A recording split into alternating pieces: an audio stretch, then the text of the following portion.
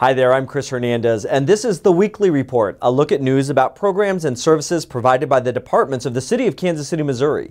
The city's aviation department and real estate developer Trammell Crow Company have broken ground on a second building at the KCI Intermodal Business Center. The site takes advantage of a location between the airport and I-29 and expects to attract warehouse and light manufacturing tenants. Nowhere else in the region do we have the ability to do air cargo. And so we, we think we've got a nice uh, niche market again in the Midwest, centrally located. Obviously, we're all, the city's already a rail hub, so you bring in air, you bring in transportation, you bring in uh, rail, you got everything right here ready to go. Local private commercial property owners may be eligible to receive funding for energy efficiency and renewable energy upgrades through the Property Assessed Clean Energy, or PACE, financing program. The PACE program is run by the Missouri Clean Energy District.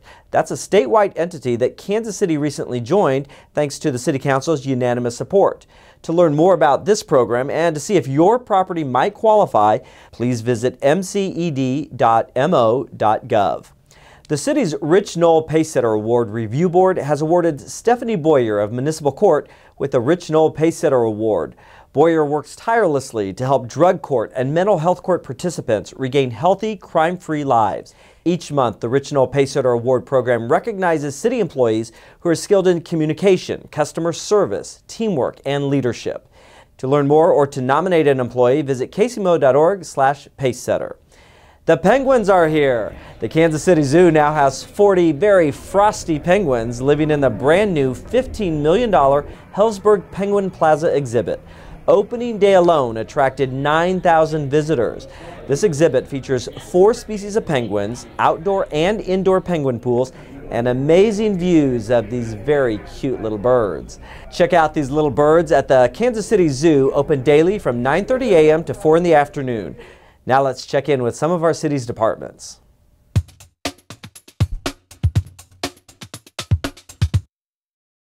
Hi, I'm Heidi Downer with Kansas City Parks and Recreation. The year is winding down, but there's no shortage of free and low-cost things to do. Mark your calendars and bring your friends and family. Out-of-town guests are welcome too a free traveling exhibit that tells the stories of Missouri residents during the Civil War, is open on Saturday afternoons from 1 to 4 p.m. through December 22nd at the Battle of Westport Museum in Swope Park.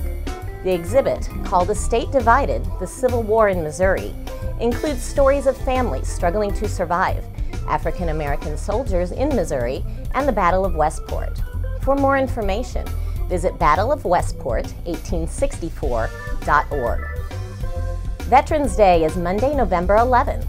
Join a public celebration of their service at the National World War I Museum at Liberty Memorial. A color guard parade begins at 9.15 a.m., followed immediately by a rousing performance of the American Legion Band. A ceremony honoring veterans is set for 11 a.m. And here's a bonus.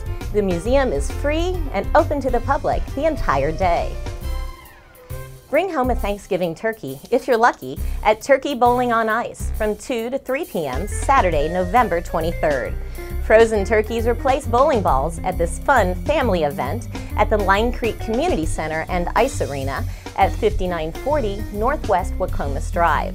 The $6 fee includes skate rental. Santa is coming and bringing Santa's Wonderland to several Kansas City parks this holiday season. Spend an evening celebrating with festive live music, entertainment by the Starlight Stars, hot chocolate light displays, and of course, a visit from Santa and his friends.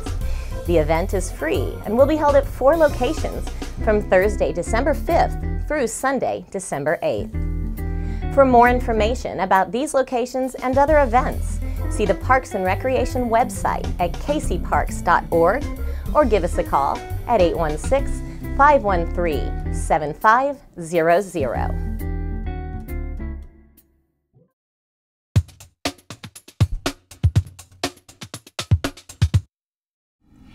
Did you know there's a way to get answers from KCPD without calling 911? The number 234 5111 is available for non emergency inquiries. Communications Supervisor Jeannie Rast explains. The number 234 5111 is answered or monitored on a 24 hour basis here in the communications unit. Whenever they call in, they could ask things um, about illegally parked cars, about a stealing that might have happened at their house. They don't know when it happened or who was the suspect. Um, a noise disturbance if there's not a fight involved, but it's a large crowd. Stolen autos, if they don't know who's taken the stolen auto. They do have a time span, let's say quite a while or overnight and they don't know who the suspect is. Also that kind of call. 311 takes care of calls for service that would pertain to animal health calls. Um, the illegally parked cars also if they're a nuisance or abandoned they take those. But with us we're more of an informational um, where you could call a number where you can call and ask any type of question we do get some calls where they are not police related, but we will make references or possibly answer the question if we know the answer. The 911 calls come in to the call center and they are the higher priority. So those calls are answered first. And then once all the 911 calls are answered, it would go to that informational line of 234 51111 and that way um, it kind of gives a higher priority to the 911 callers some of the things that are asked to on the number that are non-emergency, if there's a race downtown or an event downtown or anywhere in the city, if any of the streets are going to be closed, they can call. Um, a lot of times too, if there's storm related questions, um, people are trying to see what areas might have problems um, to check on loved ones. That might be the number to call would be the 234 5111.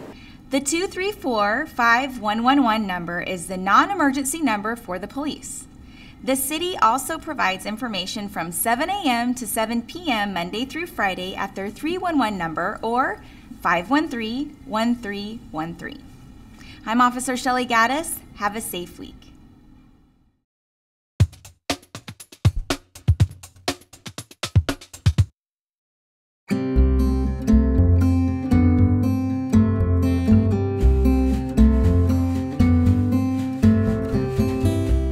Sustainability, it's a top priority in our city, and we Kansas Citians have worked hard over the past 10 years to implement green initiatives and programs. This focus has a triple bottom line approach to promote social equity, economic vitality, and environmental quality. The city's KC Green team has also encouraged residents to be more green and recognizes neighborhoods that have implemented their own sustainable programs. Earlier this year, the KC Green Neighborhood Recognition Program was launched. This award program selects four neighborhoods that have worked to improve sustainability and recognizes them publicly for their outstanding work.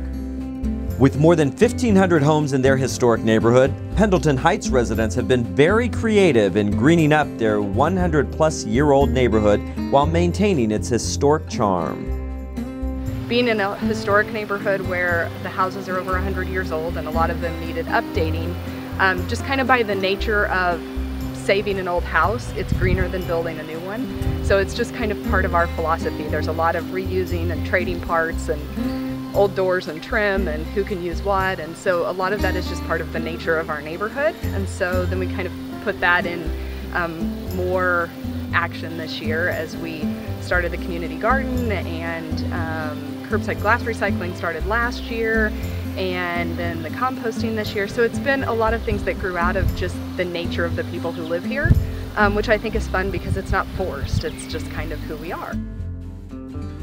Curbside compost and glass pickup by bicycle, a community garden compost pile, and an urban orchard with more than 40 peach trees are just some of the green programs implemented in this neighborhood.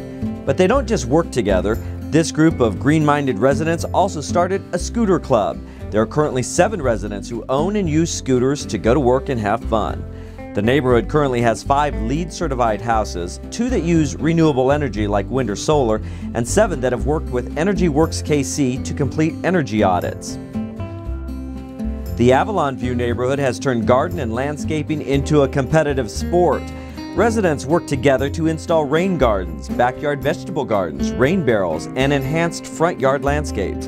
They share plants, vegetables, and their green knowledge at neighborhood meetings, and they even hold plant exchanges. New bike lanes and sidewalks are currently being installed at the request of residents who work to beautify their neighborhood and make it more sustainable. We trade off flowers, we trade off uh, vegetables, and I know that sounds weird trading off vegetables, but we do. We actually dry our seeds and we actually give each other seeds, we give each other bulbs, and um, Avalon View is just a friendly place to live. It's clean, we love gardening, we love vegetables, we love sharing, and we love caring for each other and having each other's backs. And that's Avalon View. The Ivanhoe neighborhood has instituted a number of green projects, including turning an empty lot into a neighborhood garden. It provides fresh produce for residents. With the assistance of the University of Missouri Extension Service, Ivanhoe has held classes for residents on gardening and composting and begun a Scout Sprouts program. This program works with neighborhood scout troops to plant and harvest crops in the community garden and in raised beds adjacent to the Ivanhoe Community Park. The neighborhood also installed rain barrels and encourages backyard gardens.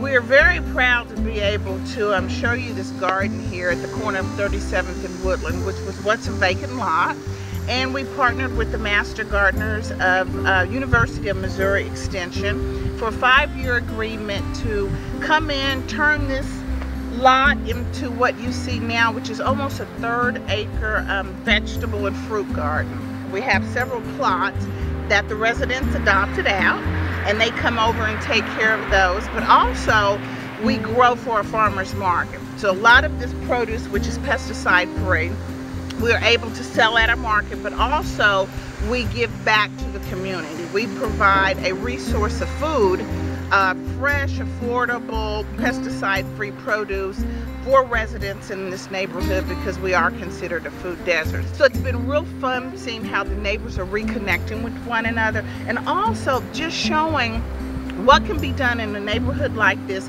that has a lot of vacant land, a lot of, you know, empty lots and, and houses that are torn down that we can do great things here in the neighborhood with that with that land and it's beautifying the neighborhood. Um, it's unifying the neighborhood. Also we found out that you know when you have eyes on your garden or your green space you tend to have less crime. So we're very excited about that as well. The city center neighborhood has not only implemented many green initiatives, they also developed a long-range neighborhood redevelopment and sustainability plan to guide them. They have worked with public, community, philanthropic, and corporate groups to leverage funding for projects like an urban orchard, a rain garden, and neighborhood Wi-Fi to encourage telecommuting and to increase education and training opportunities. The Urban Orchard has more than 90 trees and provides fresh fruit for the Society of St. Andrew to provide to local shelters. In addition, the neighborhood has two neighborhood gardens and a large rain garden that diverts thousands of gallons of rainwater from the sanitary sewer system. Congratulations again to all of our KC Green Neighborhood winners for their leadership and inspiration to other neighborhoods as they adopt similar sustainable measures in their own communities. Further information about KC Green neighborhoods is posted at the city's website at kcmo.org slash kcgreen. If you missed it this year, well, we encourage other neighborhoods to consider submitting an application. The city will open that process for the 2014 Neighborhood Recognition Program next spring. Looking ahead, the city's quick tax system will undergo routine maintenance and will be unavailable beginning Friday, November 8th at 5 p.m. until Monday, November 11th. The city appreciates the public's patience during this scheduled maintenance. The city continues its first round of fall curbside leaf and brush collections the week of November 4th for residents in the North Zone. On their regular trash day, residents may leave up to 20 bags or bundles of leaves and brush on their curb. Now, the second round of leaf and brush pickup begins November 18th in the city's South Zone. The second collection for North Zone residents will be the week of December 2nd, and Central Zone starts December 9th. To find out when your pickup day is, visit kcmo.org slash trash and click on Leaf and Brush Collection. In observance of the Veterans Day holiday, city offices and the 311 call center will be closed on Monday, November 11th. Residents who usually have Monday trash collection will receive that service on Tuesday, November 12th. Residents who usually have Friday collection will receive it on Saturday, November 16th. For more information about this or any of today's stories, please log on to kcmo.org, scroll down to the bottom right hand corner, and click on the weekly report. That does it for this edition of the Weekly Report. I'm Chris Hernandez. Have a great week.